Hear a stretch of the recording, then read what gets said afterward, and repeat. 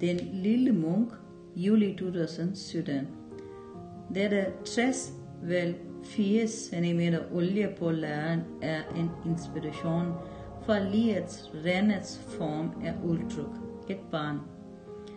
Den lille munk ses at være besat i meditationsprocessen i et rum med positivitet.